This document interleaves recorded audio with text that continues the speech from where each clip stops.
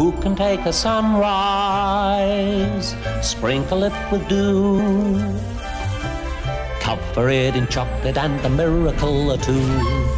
The Candy Man.